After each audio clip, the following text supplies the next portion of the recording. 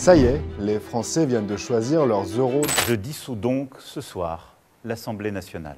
Ce n'était pas prévu. À peine le résultat des élections européennes connu, Emmanuel Macron a annoncé la dissolution de l'Assemblée nationale. En clair, les Français sont appelés à choisir de nouveau leurs députés dans une élection qui doit se tenir au tout début de l'été. Un coup de poker à plusieurs inconnus et qui ouvre de nombreuses questions, en voici quelques-unes.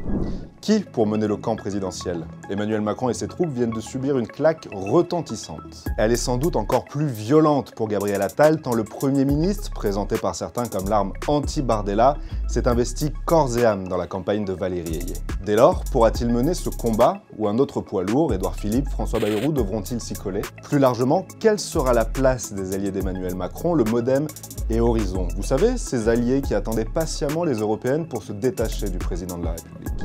La situation est tout aussi floue à gauche. Les différents partis représentés à l'Assemblée ont fait bande à part pour les européennes. Et le climat est plus délétère que jamais entre eux, la question d'une nouvelle alliance se pose donc.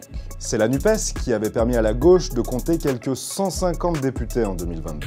Le principe, à l'époque, un candidat par circonscription pour envoyer Jean-Luc Mélenchon à Matignon. Les différentes réactions dimanche soir montrent qu'une nouvelle entente sera éminemment complexe. Raphaël Glucksmann, dont la ligne social-démocrate sort renforcée dimanche, a déjà appelé par exemple à une alliance entre le PS et les écolos, mais sans les insoumis. Tous, en tout cas, promettent de se voir dans les heures à venir.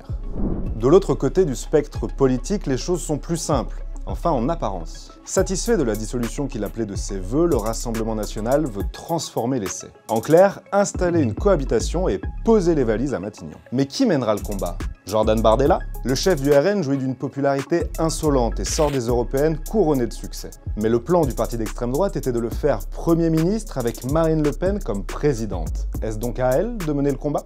Et avec ou sans Éric Zemmour comme allié sur le porte-bagages? En réalité, la période qui s'ouvre est pleine d'incertitudes, à l'extrême droite comme ailleurs.